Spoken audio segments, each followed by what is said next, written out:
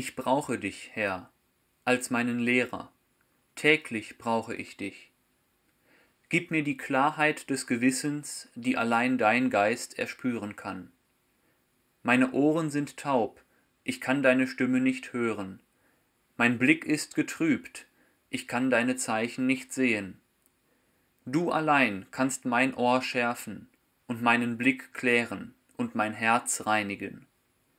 Lehre mich zu deinen Füßen sitzen und auf ein Wort hören. Aus dem Evangelium nach Markus. In jener Zeit nahm Jesus Petrus, Jakobus und Johannes beiseite und führte sie auf einen hohen Berg, aber nur sie allein. Und er wurde vor ihnen verwandelt, seine Kleider wurden strahlend weiß, so weiß, wie sie auf Erden kein Bleicher machen kann. Da erschien ihnen Elia und mit ihm Mose, und sie redeten mit Jesus. Petrus sagte zu Jesus, Rabbi, es ist gut, dass wir hier sind. Wir wollen drei Hütten bauen, eine für dich, eine für Mose und eine für Elia. Er wusste nämlich nicht, was er sagen sollte, denn sie waren vor Furcht ganz benommen. Da kam eine Wolke und überschattete sie, und es erscholl eine Stimme aus der Wolke. Dieser ist mein geliebter Sohn, auf ihn sollt ihr hören. Als sie dann um sich blickten, sahen sie auf einmal niemanden mehr bei sich außer Jesus. Während sie den Berg hinabstiegen, gebot er ihnen, niemandem zu erzählen, was sie gesehen hatten, bis der Menschensohn von den Toten auferstanden sei. Dieses Wort beschäftigte sie, und sie fragten einander, was das sei, von den Toten auferstehen. Was bedeutet nun diese Verklärung Jesu für uns? Einerseits zeigt sie uns die göttliche Natur Jesu. In diesem Moment wird deutlich, dass Jesus mehr ist als ein einfacher Mensch. Er ist der Sohn Gottes, der von Gott selbst bestätigt wird durch die Anwesenheit von Mose und Elia wird auch die Verbindung zum Alten Testament hergestellt. Jesus ist der Erfüller der alttestamentlichen Verheißungen und der Höhepunkt der Heilsgeschichte. Andererseits zeigt uns die Verklärung Jesu aber auch, dass wir als Gläubige Teilhaber an dieser göttlichen Herrlichkeit sein können. Durch unseren Glauben an Jesus Christus und seine Botschaft können auch wir verwandelt werden. Wir können das Licht Gottes in uns tragen und Zeugen seiner Liebe und Gnade sein. Die Verklärung Jesu erinnert uns daran, dass unser Glaube nicht nur aus Worten besteht, sondern auch aus Erfahrungen und Begegnungen mit Gott. Es ist wichtig, dass wir uns immer wieder bewusst machen, dass Gott in unserem Leben wirkt und uns nahe ist. Dafür müssen wir uns Zeit nehmen, uns von ihm führen lassen und ihm vertrauen.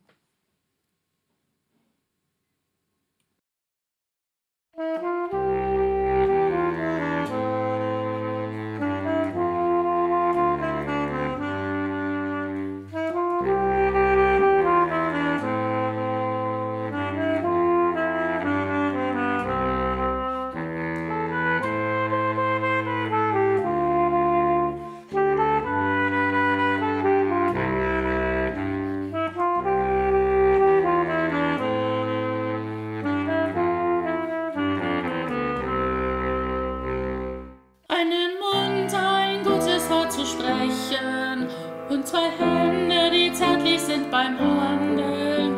Und zwei Ohren, die offen sind für Leises. Und ein Herz, das Platz hat für die Liebe. Und zwei Augen zu sehen, gut und böse. Und zwei Füße, den Weg nach Haus zu finden, einen Menschen, der dir wird zur Heimat. Und Vertrauen, dass du geborgen bist.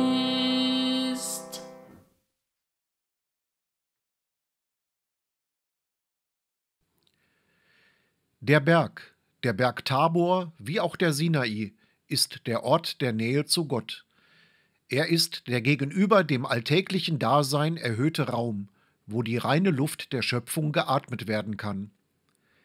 Er ist der Ort des Gebets, an dem man in der Gegenwart Gottes steht, wie Mose und Elia, die neben dem verklärten Jesus erscheinen und mit ihm über den Auszug sprechen, der ihm in Jerusalem bevorsteht, das heißt sein Pascha.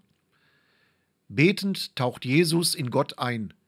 Er vereint sich innig mit ihm. Er bejaht mit seinem menschlichen Willen den Willen der Liebe Gottes. Und so bricht das Licht über ihn herein. Und die Wahrheit seines Seins kommt sichtbar zum Vorschein. Er ist Gott, Licht vom Licht. Um in das ewige Leben einzugehen, muss man auf Jesus hören, ihm auf dem Weg des Kreuzes nachfolgen und dabei wie er in der Hoffnung auf die Auferstehung stehen. Möge der Segen Gottes auf dir ruhen, dass deine Augen stets das Gute sehen und den Weg der Wahrheit erkennen. Mögen deine Ohren für die Stimme der Liebe und des Mitgefühls geöffnet sein, um die Bedürfnisse anderer zu hören und ihnen beizustehen. Möge dein Mund Worte der Weisheit und Freundlichkeit sprechen, um Frieden und Trost zu bringen. Möge dein Herz von der Liebe Gottes erfüllt sein und dich dazu bewegen, anderen bedingungslos zu helfen. Und möge der Heilige Geist dich führen und stärken, damit du ein Segen für andere sein kannst. Amen.